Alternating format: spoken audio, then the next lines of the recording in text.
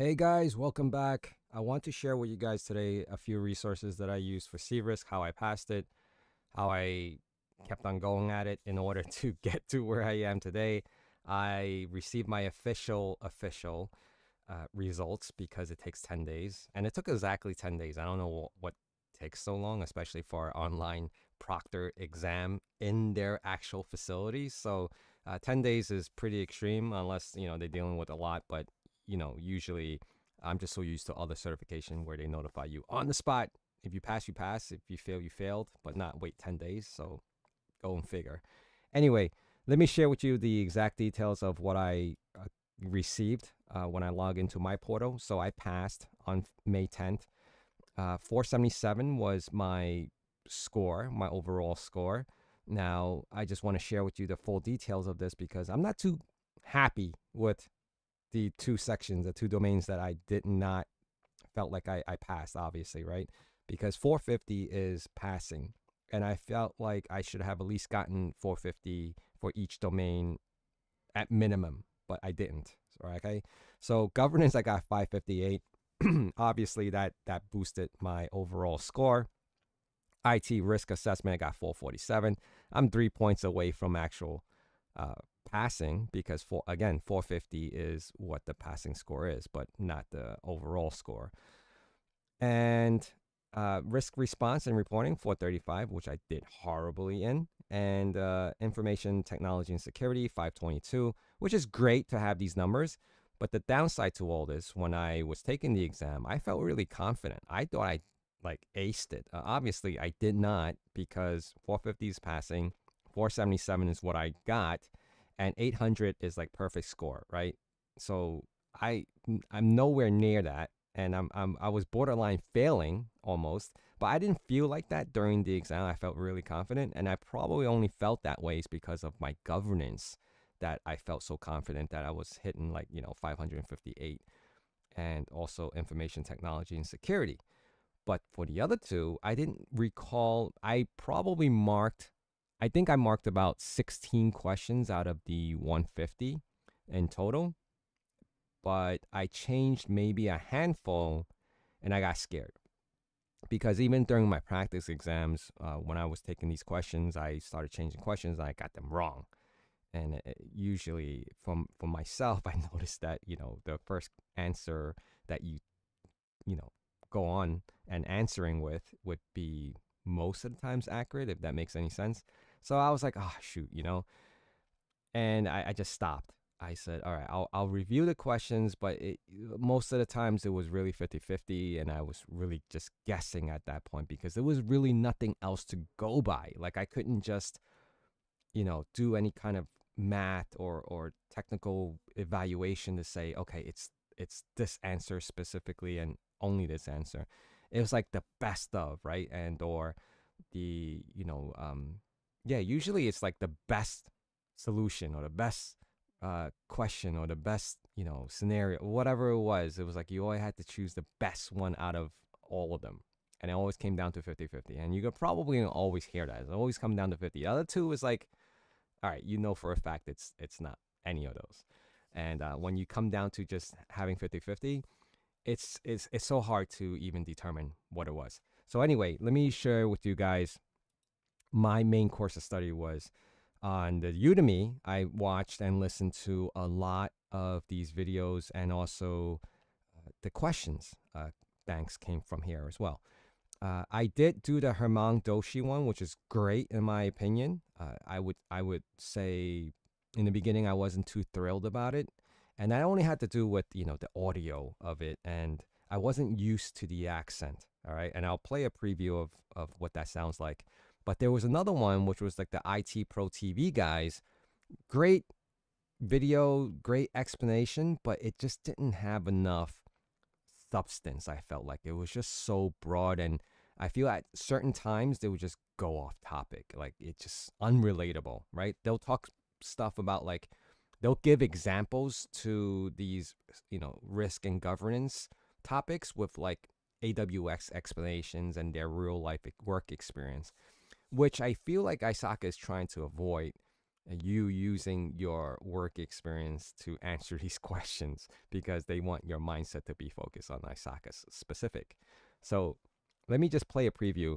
I loved it in the beginning. This is the IT Pro TV guys, and it, they changed it to ACI Learning now, whatever it is. And I'll just play a quick preview of what it sounds like. Systems control. I'm your host through a portion uh, of this uh, course series. My name is Wes Bryan, and I've been a technical instructor for better than a decade. I hold primary domains that are in the CRISC environment in the CRISC certification. So I had to play these videos at like 1.25 or 1.5 speed because they just spoke so slow. And uh, of course, they eh, they were enunciating every single word, so you understood it. So that way, you know, you can absorb it a little bit more. But I felt like because of this, uh, th- this course specifically, I've actually watched these courses, the entire course, and I believe this one was, I, I forget how many hours this one was in total. Uh, it wasn't short. Let's just, uh, 16 and a half hours over here. 16 and a half hours, I, I watched the, the entire thing and all these different chapters. It didn't have a lot of substance. It was like an overall, like very general topics so you could understand what was involved or what's going to be consisted of in the exam. And I was like, okay, all right, it's it's cool, but definitely I don't feel like that was enough to get into the exam and, and go take it and, and expect a pass. All right. Now the Doshi one on the other hand, I I watched both, right? And this one is uh, 14 hours, so you know, only shy of two hour difference, but it took me a little while to absorb this one. All right. There was two factors to this. One, I said because of the the audio isn't very professional. You, hear kids screaming and you hear like you know dogs barking and cars passing. It's like it, it's you need like a, a noise cancellation kind of a, like microphone or headphones or something like that. And then the the second part to that was if you increase the speed on this, and because of his accent, it becomes almost like I couldn't understand him sometimes because the way he enunciates certain words, it's not the same as how we speak or how I speak or, or for how I would understand it. So uh, I, am I'm, I'm drawing a blank to some of the examples right now, but when you hear it, you'll know it, right? It, it's just like it. That's what he just said, and then I had to go back and I had to look at the actual uh, the the question itself because it, it's all written out and then I hear it and then I compare that to what he just said, then I was like, oh, that's what he meant, right? So there was a lot of times it was like that. So let's let's just take a quick listen. Uh, let's pick something that's a little more uh, re- relevant to the CRISC domain. So let's let's click on this one. IT risk. In this register. video, we will discuss about IT risk register. In this video, we will discuss what is the risk register. it's a little slower, so I, I was able to play certain videos at a higher speed, but you have to be careful with that because you hear that audio, that feedback, and and uh, the, it, it got really annoying, especially if you're wearing headphones. If you're listening off a PC speaker, it's not as bad because you don't hear the, the quality of the audio because once you start hearing the, the quality of the audio you're going to be like what the hell is this? Right? It's like oh it, it's too much. It's too much. But uh, i've done it. I, i've forced myself to do it. I, again uh, when i listen to these videos or watch these videos uh, even though they're actual videos i just listen to the audio a bit sometimes because i watch it over and over again. There will be some chapters that i actually focus on and rewatch it multiple times because i'm trying to pick up on it. Uh, it risk, risk register is one of them and when it got down to like some of the technical stuff, I, I knew, uh, you know, because I, I've taken the CISSP, some of it does overlap. And I would say, yeah, all right, I know it. That's fine. Uh, CIA principles, like those are all like really spread across the whole cybersecurity certification uh, exams for any of them. So a lot of these are pretty relevant amongst each other and, and it's kind of on repeat. But there are certain aspects of it that's not, and I'll focus on that. All right. And uh, some of the hard copy resources, uh, one of them was this the CRISC questions and answers and explanations. Now, this sixth edition specifically, I did not buy new. I bought it used off of eBay. I think I bought it for like 45 or 50 bucks. Still expensive for a used book, but this was great. Okay. Now, but the questions were definitely a lot more deeper than what was presented in the exam. On the actual exam, when you go in there, I'm not giving away any specifics, is that it'll be like a one liner. Like, if this was to happen, what would you choose? And then you get your four questions. Now, with this resource here, with this question, like there's tons of questions. I went through the entire book, 600 questions of it, because it says it right here, 600 questions. It was a lot for each domain. It was broken down to like 150 plus or so questions. And then, because there's only four domains, the questions were so deep, it was like reading a short story, right? And it'll have like four questions to five questions, uh, four sentences, sorry, four sentences to five sentences for a, a one question. And the, the it's only the last part that even makes relevance to what you need to answer. The other three questions or two, uh, two I keep saying questions. The other two sentences or three sentences prior to the last sentence will be like, okay, it just it means nothing. They're just telling a story, so you have an idea visually what they're trying to ask for. Okay, so I thought this was a great way to understand the topics for each of the domains. I would say I would definitely go by this uh, this Q and A definitely more so than this thing. So I got this book. I read it. You know, it's it's cheap, but you could get it cheaper if you get it used. Uh, especially if you reach out to me. I have both of these resources. But if anyone's interested, just let me know and we could work something out and I can probably like, you know, sell it to you for like dirt cheap. You pay for shipping or something like that. All right.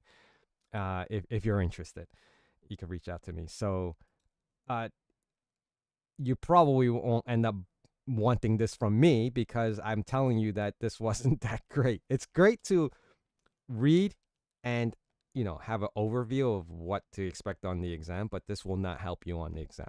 I'm just gonna put that out there. Uh, it had really good high ratings, and and that's probably the reason why I chose it. But if you were to solely rely on this one resource, because it's like half an inch, you know, it's not a lot of pages to to read. It's very short. It's 276. Come on, it's 276 pages. That's like, shoot. I, I, I, you know, just comparing that to like the CISSP, it's like, like one tenth of it.